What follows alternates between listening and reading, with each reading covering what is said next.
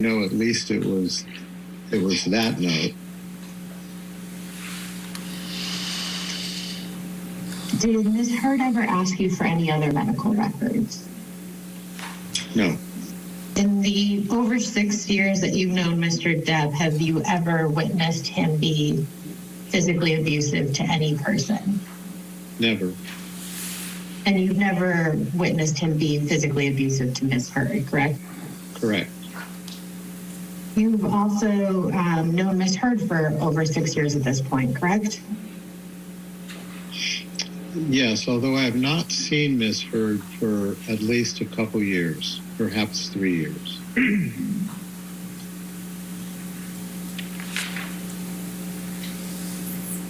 In the six years that you treated Mr. or in the over six years you've treated Mr. Depp, has Mr. Depp ever complained to you that Ms. Heard has physically abused him? No, not that I can recall. Have you ever witnessed Ms. Heard be physically abusive to Mr. Depp? No, Has anyone who works for you or reports to you ever reported to you that they witnessed Ms. Depp, or excuse me, Ms. Heard be physically abusive to Mr. Depp? No, not that I can recall. You testified. Uh, you testified earlier uh, from questions from Ms. Myers that the um, tip of Mr. Depp's finger was found in the kitchen, found on the floor of the kitchen in, in the home in, in Australia, correct? Right. Now, where do you know where the kitchen was? Was it on what floor the kitchen was? There was a downstairs below the kitchen area. I think those, I'm, I'm not really sure. I think those were bedrooms, but I'm not positive. So this would be on the main floor. The kitchen was on the main floor as you went into the home. And that's where the tip of the finger was found in the in the kitchen on the main floor. Yes. No, there was a text message where where you got a text message from Mr. Depp, Yes. Yes. and he said he, he said he cut his finger, correct? I think that's what it said. Yes. Okay. And um, the reference from the emergency room said that Mr. Depp had cut sliced his finger with a knife, correct? Yes, that's what he told, because I was present for that. That's what he told the emergency room doctor. Okay. So Mr. Depp told the emergency room doctor that he had cut his finger with a knife, correct? Yes. Okay. And you didn't put that in any of your notes that a bottle was thrown at Mr. Depp, correct? Correct. Did Mr. Depp have any cuts anywhere else on his face or anywhere else that would have come from glass? Now, if um, if Miss Heard told Miss Borum that Mr. Depp had hit her in the face several times and sent her pictures of bruises, would you expect Miss Borum to report that in her notes? I would have expected Miss Borum to send me those pictures. Um, so you would have expected to see those pictures from Miss Borum, is that correct? Yes. And you would have expected, and you would have wanted Miss Borum to, if she had been seen a text that said, "I was hit in the face by Miss Heard," and then received pictures of bruises, that Miss Borum would report that to you, correct? Yes. Is that any, is that an instruction that you gave to your nurses to re- to report to you any abuse that they saw or were reported to them? Uh, yes, if they saw that as valid, um, Miss Heard, for example, if somebody hurt Miss Heard while she was under the care, uh, direct care of Miss Borum, uh, and Miss Borum documented that Miss Heard had been injured, she certainly would have reported that to me. That's what that was. That's what your expectation would be that she can report. it. Dr. Kipper, did you keep any notes um, of your treatment of Mr. Depp while he was in Australia? Other than the summary notes, um, no. And when was Miss Lloyd with you when Mr. Depp told you what had happened to his finger before you brought him to the hospital? I believe yes. Um, I'm not positive, but I believe yes because she was helping me at the car uh, to try to clean out that finger, which is when he explained what happened. So you believe that that Miss Lloyd would have heard Mr. Depp's explanation? I believe so. All right, that completes the deposition. And, I, and the next witness is also by deposition, is that correct? That's correct, Your Honor. Debbie Lloyd. All right, well, why don't we go ahead and go ahead and take our morning break? It's a little early, but since the next witness is also by deposition, why don't we take our 15-minute break now so you can uh, stretch for a little bit, and we'll come back um, in about 15 minutes, okay? So you can go ahead. Do not talk to anybody, don't do any outside research, right? Okay, thank you. 15 minutes. And with the court taking a break, we're going to take a break. We'll have more of Depp v. Heard in Fairfax, Virginia after this. And now,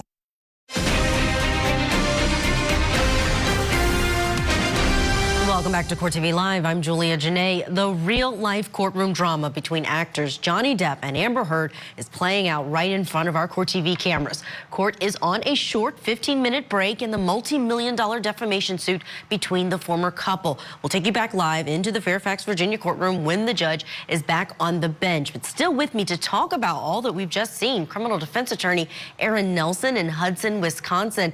Aaron, we heard Dr. Kipper there in that video deposition that was taken last year talking about two very different things, it seems. On direct, when we had the attorneys of Amber Heard first asking him over the last two days, they focused on his problems, his addiction, his uh, diagnosis. Uh, but we heard when Depp's attorneys had the chance to question him, they focused more on uh, what Amber Heard may have said about their relationship. What do you make or what stood out to you from that testimony? Well, we know exactly why uh, Johnny Depp's attorneys have now called this doctor. It's impeachment by omission, as I'm sure you know. That is, they uh, got into the fact that this doctor who was treating Amber Heard never heard from Amber Heard about any allegations of violence, never heard from Amber Heard about any allegations of abuse, never observed any uh, circumstantial evidence that would support such allegations, uh, which will give the Johnny Depp's attorneys the basis to basically make the argument he didn't see it, he didn't hear it, and he didn't hear it, and he didn't see it because it didn't happen. She was lying. Now she's making it up. So this is a foundation for their case. And if any of our viewers are wondering perhaps why we had the attorney for Amber Heard asking those questions first, even though this is uh, something that Depp's attorneys have put into evidence in front of this jury, it was a deposition. It sounds like it was called for by Heard's attorneys at the time, but Depp's attorneys seeing that it's very important for them to use it in their case right now as they start uh, in this defamation lawsuit against each other, the dueling ones. I want to ask you about the celebrity factor of this. These jurors are hearing about detoxification on a private island, trips to Australia, a doctor who sounds like he's on call when there are issues. Do these attorneys have to take the extra step to explain this lifestyle to the jury for those who may not even be able to process some of this?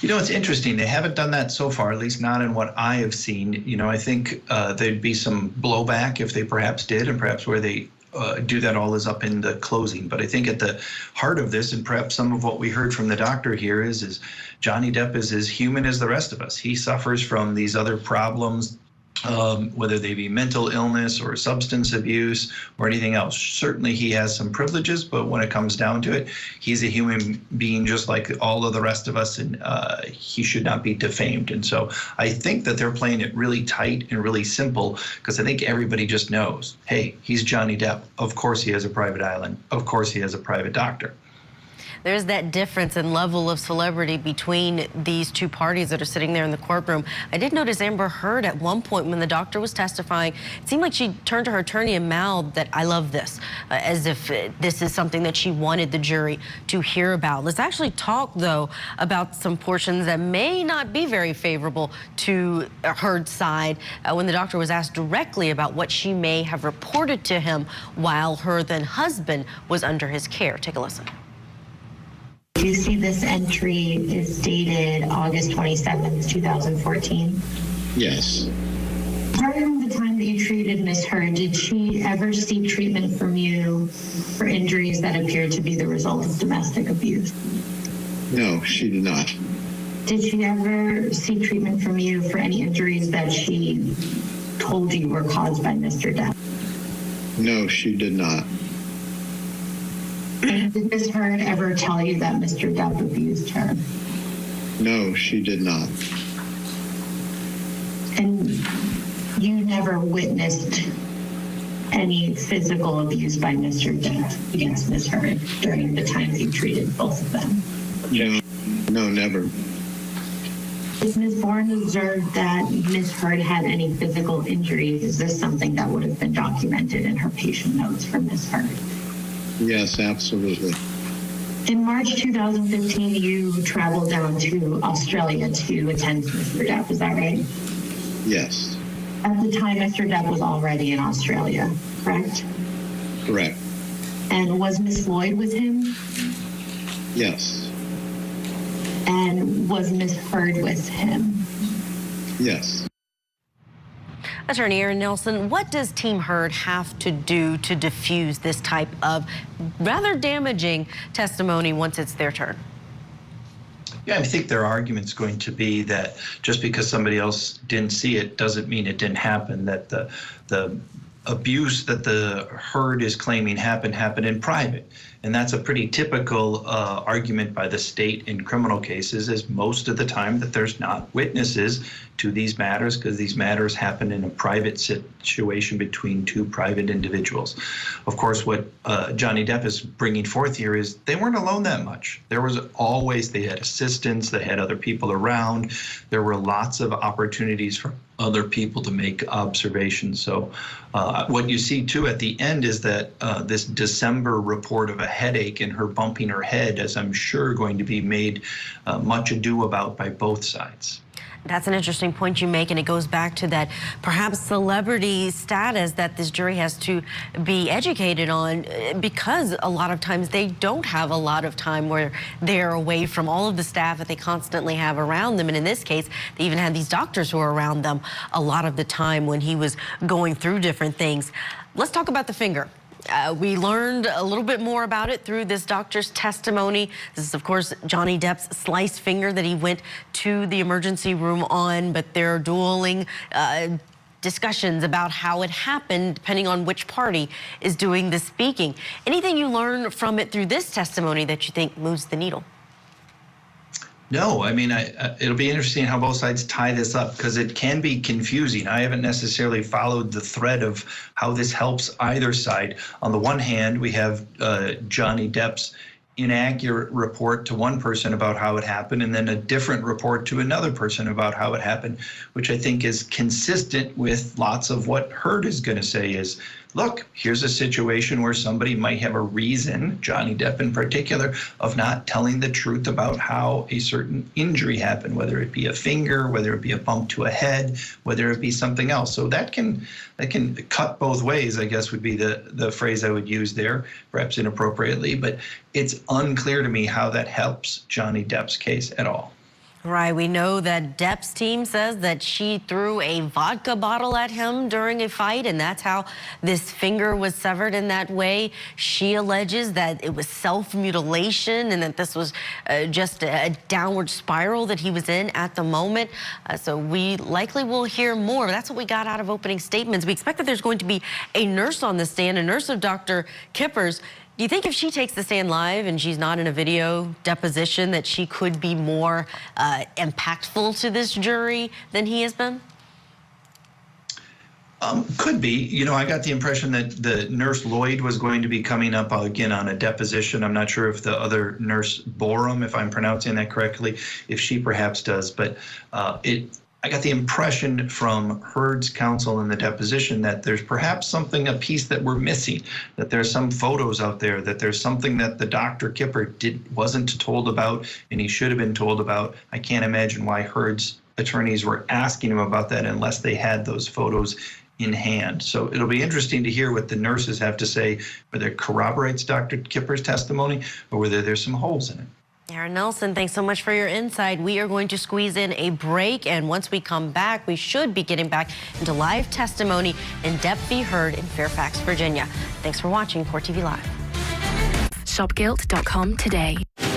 I'm Tammy Painter in Fairfax, Virginia for the Johnny Depp defamation case. And this is Court TV, your front row seat to justice.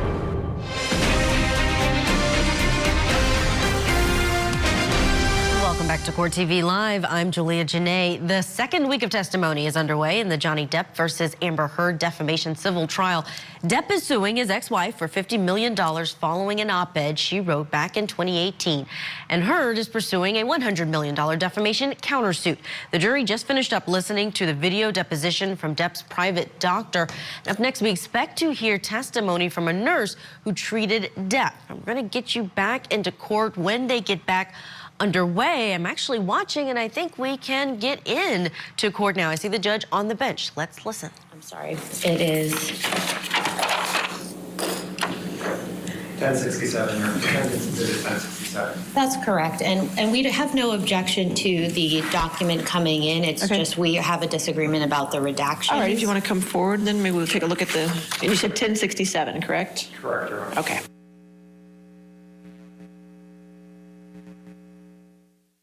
All right, let's bring back in guest criminal defense attorney Aaron Nelson in Hudson, Wisconsin.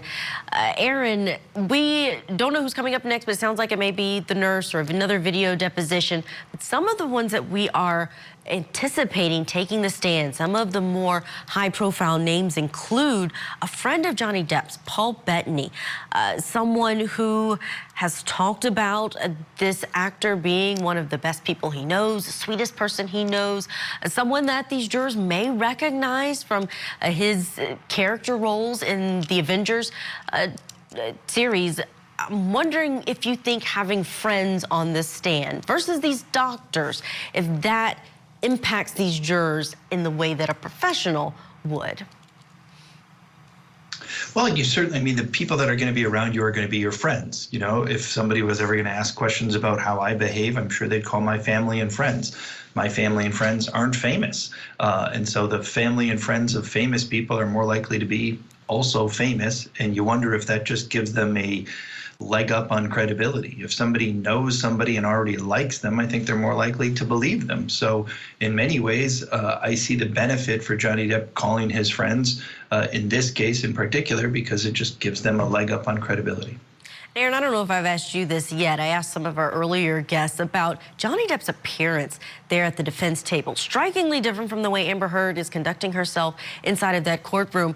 It seems like as soon as they go off the record, he is laughing with his attorney in a constant stream of whatever they are talking about compared to a very serious looking Amber Heard across the aisle.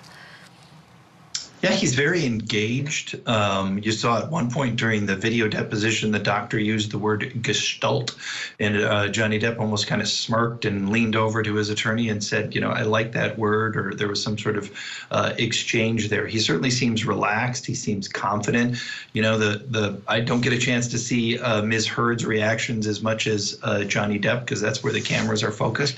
Uh, but he seems to be, again, I think engaged, which I think is helpful. There's that fine line between somebody pulling on the attorney's shirt sleeves too much to uh, appear to be controlling or to be something else. But I don't get that impression from Mr. Depp. That's true. Very relaxed is what it seems.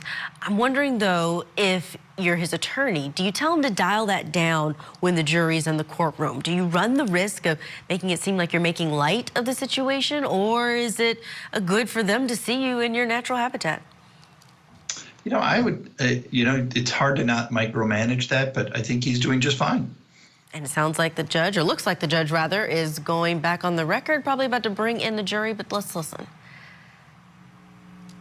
And actually, swinging back to another sidebar, looks like it may be a quick one. What are you going to be paying attention to to the nurse? I know you said you're going to listen to whether or not she corroborates the uh, doctor that she worked for, but anything about her position as a nurse versus this doctor who was over the treatment that may be significant? You know, I think it's im- important, perhaps, uh, again, if you put in the gender dynamics, perhaps a female is more likely to disclose abuse to another female. And so I think the fact that uh, these nurses, uh, uh, were there and had contact with Amber Heard, and they created an environment that would have been comfortable for Amber Heard to make these disclosures or say something else. And if she doesn't say it there, uh, I think that again that supports Johnny Depp's argument here that they didn't see it, she didn't say it because none of it happened. So that's it's again a more of the um, impeachment by omission type of evidence. Right, I wondered that as well when they were asking Dr. Kipper, Johnny Depp's attorney rather, was asking Dr. Kipper as to if his nurses had known or something had been reported to them, would they have had to then report it up the chain to him? And he said that's absolutely what would have happened and it would have been part of their job and their training. So I don't know if they'll come in and say something different, say that yes, they observed this or yes, they uh, were told this and just didn't send it up the chain. How reliable might it be if they didn't then do what they were required to do with that information? Yeah, and then it's interesting because we know that the counselor has already um, testified, and the counselor said that there was mutual abuse, and so it's the trying to to set up. Perhaps there's a different setting. In some settings, somebody has a motive to lie, or in some settings, somebody has a motive to tell the truth. And I think that's what it's going to come down to when you talk about the contrasting evidence between the counselor. Um, who saw them both, as opposed to the doctor and the and the nurses who are there to provide medical uh, care for both people.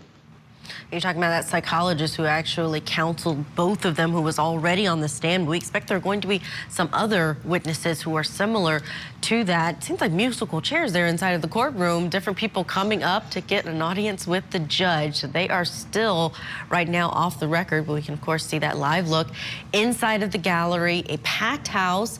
This is the courtroom, but there's also a gallery overflow room where we know there are many, many, many fans.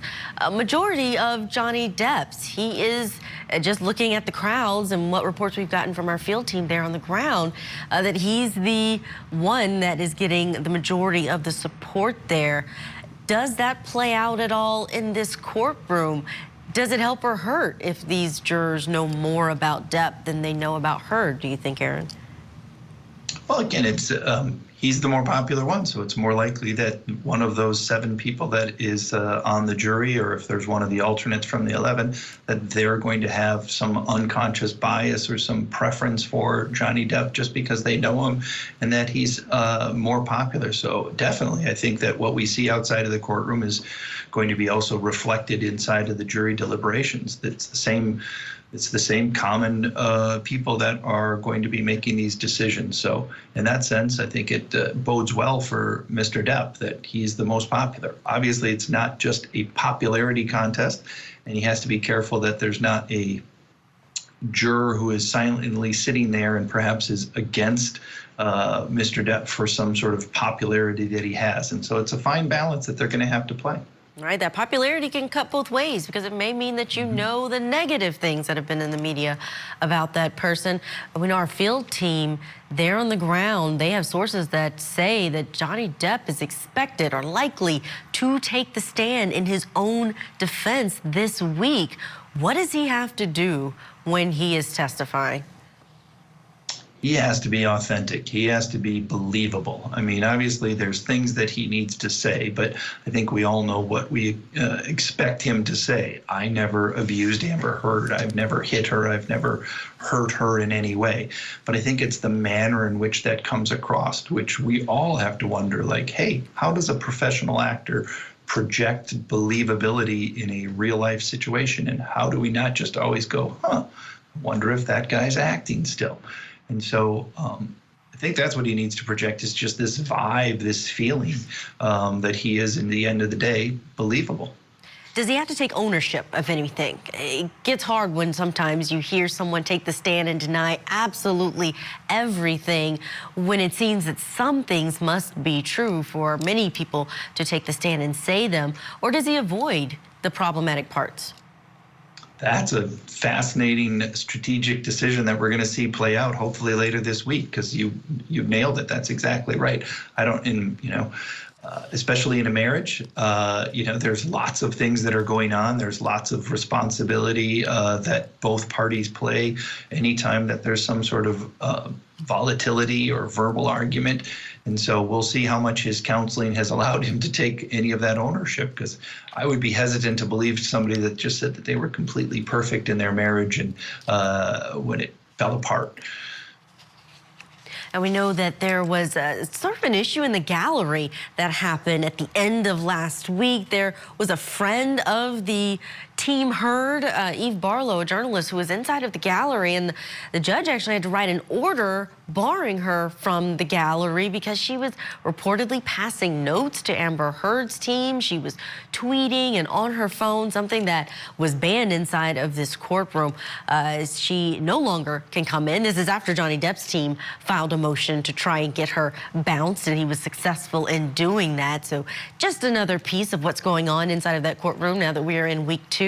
Looks like the judge is back on the record finally. Let's listen in. For the jury? Okay, just make sure. That's right, thank you.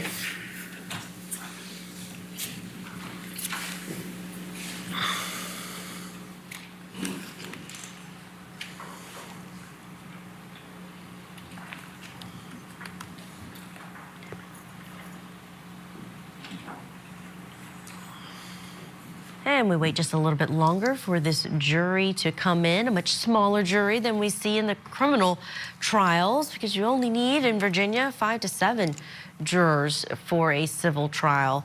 Uh, they, of course, are going to be deciding not only the suit of Depp versus Heard, but also Heard's countersuit against the plaintiff in this case, Johnny Depp, her ex-husband. Uh, we don't know when these deliberations will